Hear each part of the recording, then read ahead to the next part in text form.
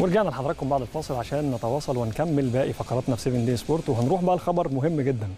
النهارده في مفاجأة كبيرة جدا أعلن الاتحاد الأفريقي لكرة القدم استقبال أربع ملفات لاستضافة كأس الأمم الأفريقية 2027 على رأس الملفات دي ملف الاتحاد المصري لكرة القدم. والملفات المتنافسة هي مصر والجزائر وملف وبتسوانا وملف مشترك بقى بين أوغندا وكينيا وتنزانيا. دول أربع ملفات ولسه لحد يوم 23 مايو هيكون التوقيت النهائي لاستقبال الطلبات مستوفيه طبعا الشروط زي الضمانات الحكومية والملاعب وفي في يوم 15 يونيو هتنزل لجنة لجنة تفتيش يعني على الحاجات دي وبعدها يتم إعلان القرار النهائي. يمكن مصر نجحت بامتياز في تنظيم أفضل نسخ كأس أمم أفريقيا سنة 2019 اللي فاز بها المنتخب الجزائري. وأعتقد إن الدولة المصرية موفرة كل حاجة. البنية التحتية اللي ممكن تنظم بيها أي بطولة واللي تأهلك لاستضافة أي بطولة عالمية كمان مش أفريقية بس.